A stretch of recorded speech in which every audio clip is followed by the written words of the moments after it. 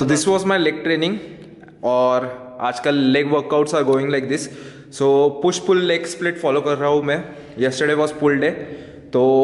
A little bit of loaded back I can experience in my workout लेकिन ठीक है I think ज़्यादा से ज़्यादा फोकस अगर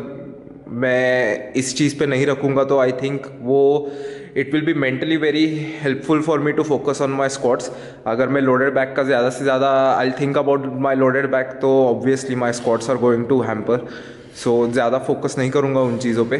But yes overall I am very happy with my leg training और आज का वर्कआउट भी. Hope you have enjoyed this video and I will see you in the next video